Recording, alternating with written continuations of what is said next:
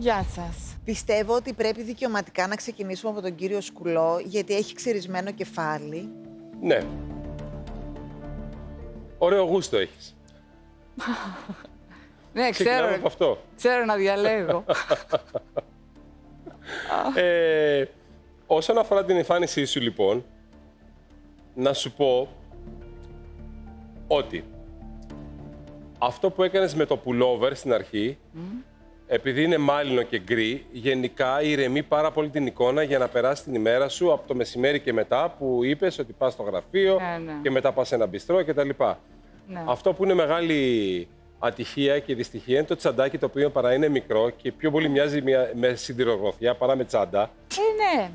Να σας πω, ε, ε, είπα να έχω ένα μικρό τσαντάκι Ωραίο να θα φορέσω ήταν, εδώ αλλά μέσα. ούτε αυτό το Μαύρο. χρυσό είναι ωραίο, Ναι, ούτε μαύρο. κομψό. Ναι. Δείχνει πολύ φτηνό Ω. και δείχνει κακό και σου ρίχνει την εμφάνιση. Παρ' όλα αυτά,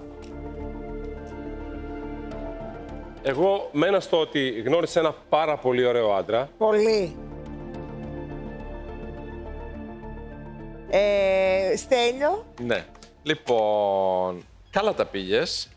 Ε, το πρόβλημα μου είναι αυτά τα παπούτσια δεν μπορώ να τα βλέπω καθόλου. Είναι τα αγαπημένα μου αυτά. Να μ- σταματήσουν να είναι. Τέλος πάντων, αυτό το φόρεμα μου αρέσει. Δεν μου αρέσει η ζώνη που βάλε, δεν μου αρέσουν τα παπούτσια, δεν μου αρέσει η τσάντα.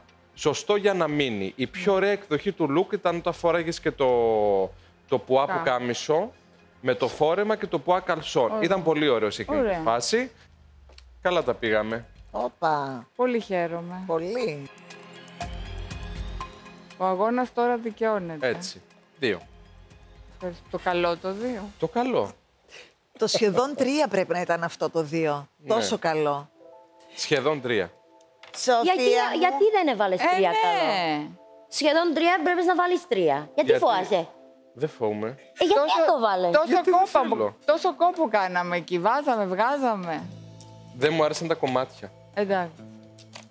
Αν ήταν για μένα αυτό το look, εκτός την σέντα και το σχέδιο του καλσόν.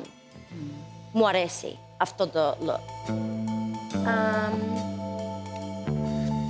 αυτά τα looks μου αρέσουν. Όχι το πρώτο. Εντάξει.